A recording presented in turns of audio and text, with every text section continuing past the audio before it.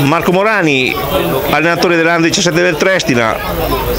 un, un, eh, eh, dice, un incompito diverso rispetto all'anno scorso. Sì,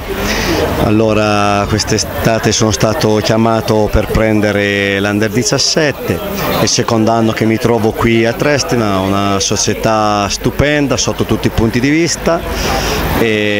lascio una prima squadra, riparto da un gruppo giovanile,